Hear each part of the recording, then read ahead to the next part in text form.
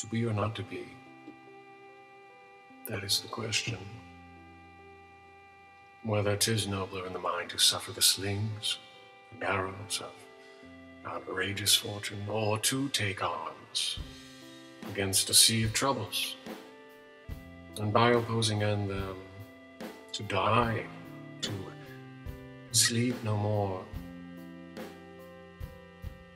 By sleep we say to end the heartache and the thousand natural shocks that flesh is heir to.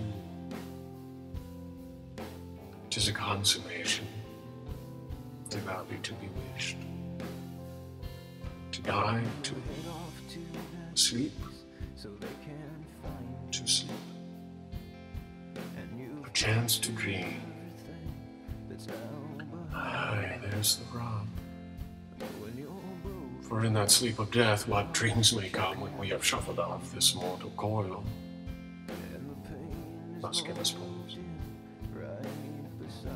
There's the respect that makes calamity of so long life.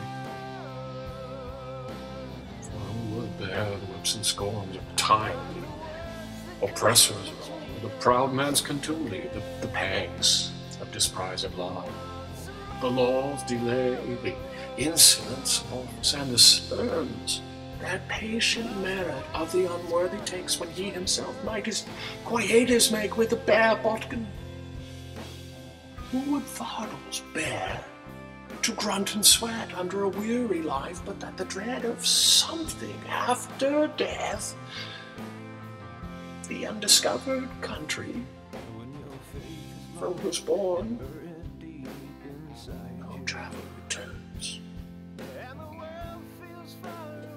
puzzles the will, makes us rather bear those ills we have than fly to others that we know not of.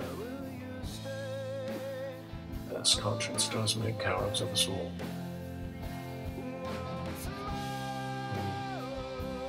And thus the native hue of resolution sicklied o'er with the pale cast of thought and enterprises great pith.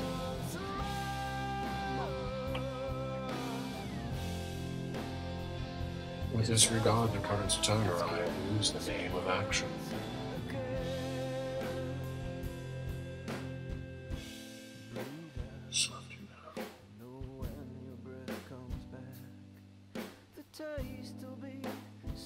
You fair Ophelia,